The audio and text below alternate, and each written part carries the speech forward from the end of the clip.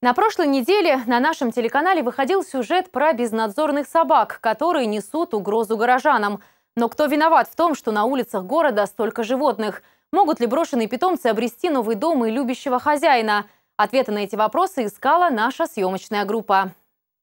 Совсем рядом с городской свалкой стоит радостный собачий лай. При виде своих друзей-волонтеров собачата, как ласково их называет хозяин частного приюта для животных Сергей Шевелев, пытаются перелаять соседей, чтобы первыми получить теплые объятия и угощения. То, что призвание Сергея – помогать тем, для кого эта помощь жизненно необходима, он понял более 20 лет назад. Тогда он приютил сначала одну, потом вторую собаку и уже не смог изменить зову своего сердца. Сейчас он хозяин частного приюта, обустройство которого стало возможным благодаря всесторонней помощи. Землю официально предоставили под фермерское хозяйство, заборы будки построены благодаря постоянным пожертвованиям благодетелей и, конечно, волонтеров.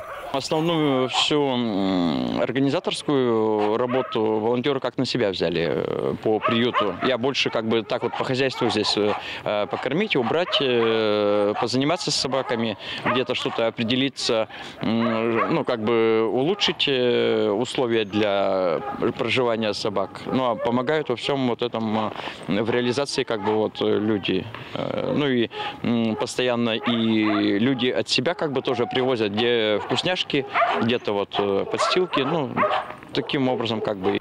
Все жители приюта привиты и стерилизованы. Помогают в этом государственный пункт временного содержания животных и частные ветеринары. Учреждения города предоставляют пищевые отходы, неравнодушные жители, одеяла и подстилки. Власти и организации города, они идут навстречу, где-то сочувствуют животным, где-то вот помочь именно что хозяйственной э, деятельности, э, как бы, ну, помогают. Но и этого было бы мало, если бы не помощь волонтеров, которые круглый год не менее трех раз в неделю приезжают в приют подарить свое тепло его обитателям. Щенячий вольерчик недавно построен, подарен приюту спонсором нашим постоянным. Были закуплены половина материалов, стройматериалов и оплачена работа. Домик целиком утеплителем отделан и пол также носил утеплитель.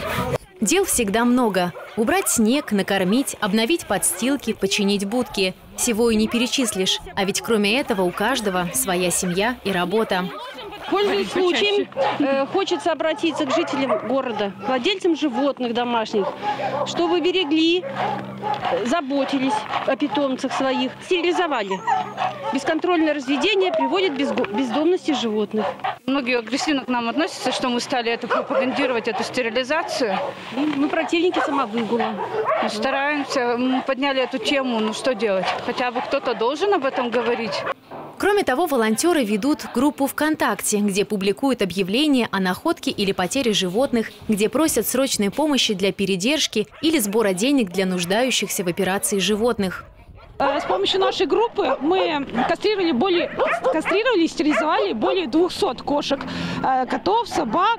Э, получается, с помощью нашей группы пристроено очень много животных. Те, кто потерялись, те, кто бездомные, кого бросили. Наша группа существует благодаря переводам, переводам благодетелей наших, тех, кто переводит еженедельно, некоторые каждый день переводят. Также мы существуем за счет подарков. У нас есть пункт приема сбора помощи. Также у нас есть зоомаги. И еще в одном магазине в Котофее а, коробы добра, где покупатели могут отложить подарки. Во многих магазинах нашего города установлены специальные коробки для пожертвований и подарков. Алгоритм помощи самый простой. Спасибо. Сделать приятно обитателям приюта не так сложно. Можно зайти в магазин, купить небольшую пачку корма и положить в специальную коробку откуда корм доставят животным из приюта.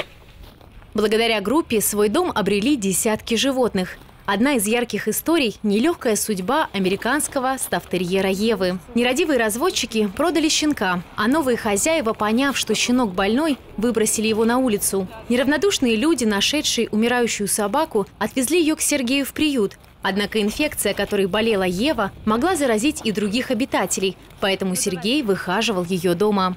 А потом уже здоровую и жизнерадостную Еву пристроили в по-настоящему любящую семью.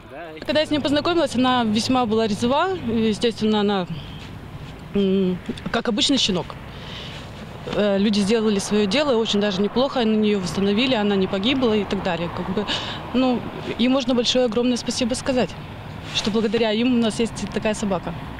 К сожалению, таких историй со счастливым концом немного. Большинство боится брать взрослое или больное животное, гонится за модой, покупая дорогих породистых собак и кошек в именитых питомниках. Говорят, что дружбу нельзя купить ни за какие деньги. Зато совершенно бесплатно можно завести себе по-настоящему любящего и верного друга с четырьмя лапами и хвостом. Не бойтесь предрассудков и будьте милосерднее. Екатерина Дементьева, Владислав Носкин, телеканал «Север».